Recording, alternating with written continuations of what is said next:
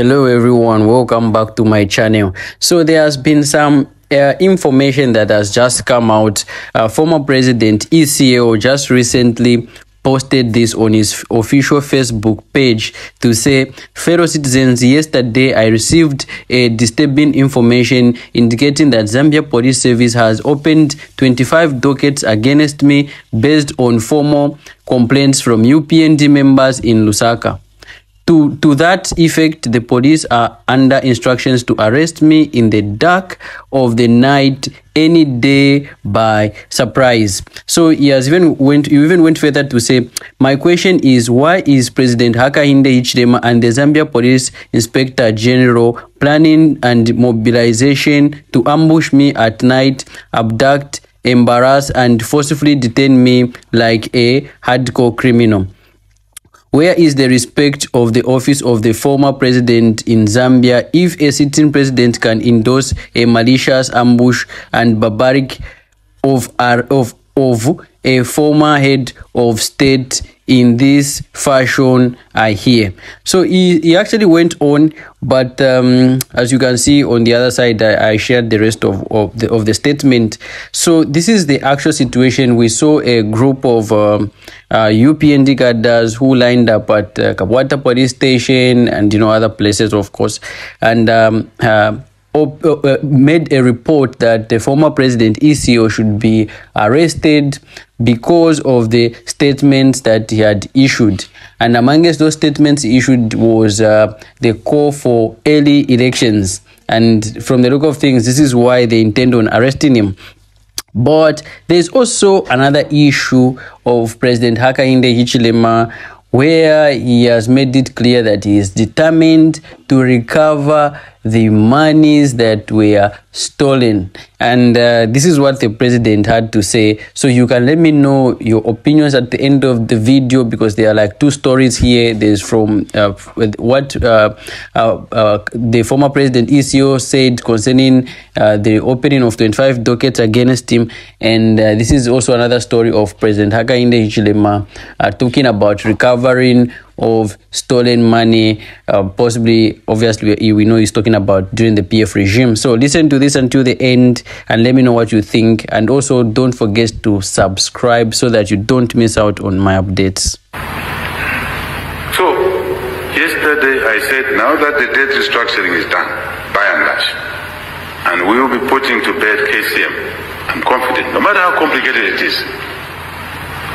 Now I have time to check, accountant general, to check how much money was obtained and allocated to Lusaka Ndola Highway by way of a loan. How much was it?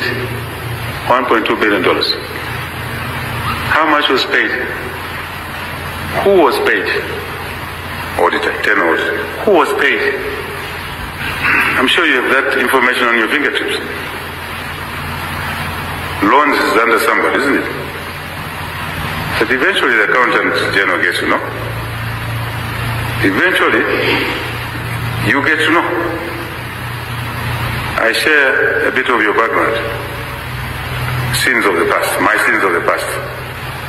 You get to know. So soon we'll be saying this Ndola Lusaka highway, so much was procured by loan, so much was paid to who?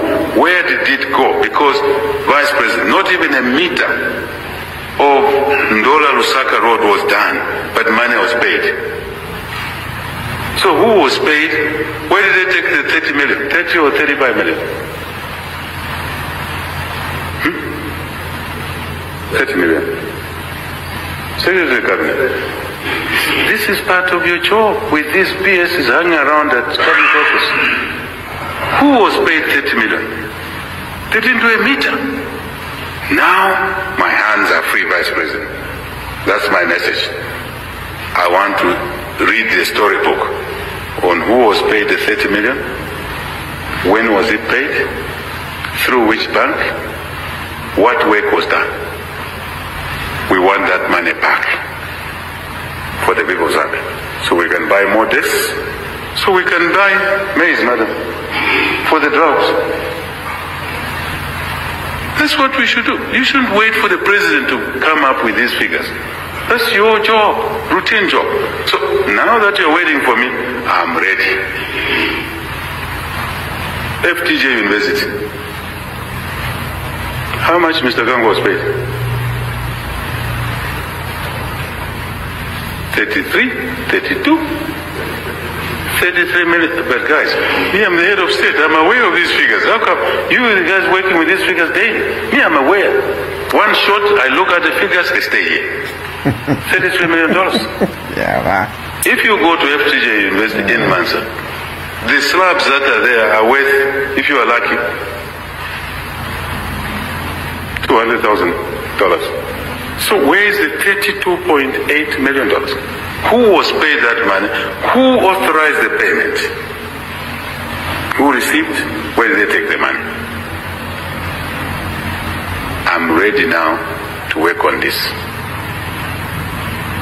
And I want us to work as a team, Vice President, all of you, to bring that money back and let it work for the people of Zambia. Imagine just two projects, $32.8 million, $30 million, $62.8 million. If we put that money in the agricultural credit scheme, we will regret. That's the story. That's the mood in which this fellow called the president is now.